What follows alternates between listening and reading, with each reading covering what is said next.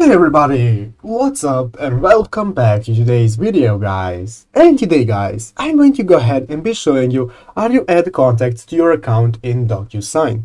So make sure to watch this quick and easy video till the very end and follow my steps correctly. So you can make sure this works the same for you and that you can do this yourself. But yeah guys, let's get straight into it. The first thing you want to do guys is go ahead and open up the official DocuSign.com website right here and log into your account.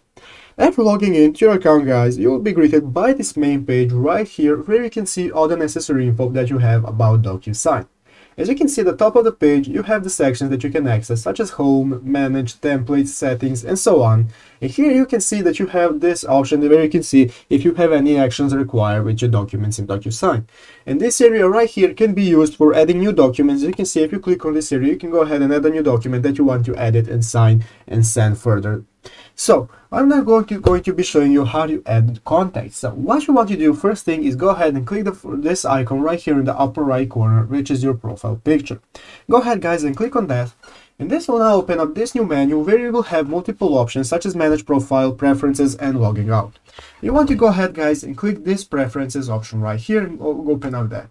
After opening up my preferences, this will now open up this preference settings option where you can select your account settings. You can see general, regional settings and so on. And you will see one of the options at the left side right here is called contacts. You want to go ahead and click on contacts right here.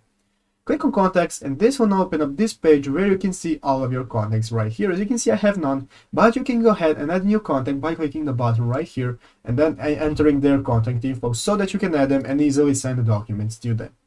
But yeah guys, basically that is it, how to do it. I hope this video was helpful. If it was, make sure to leave a like and subscribe to the channel. So guys, thanks for watching, take care and bye.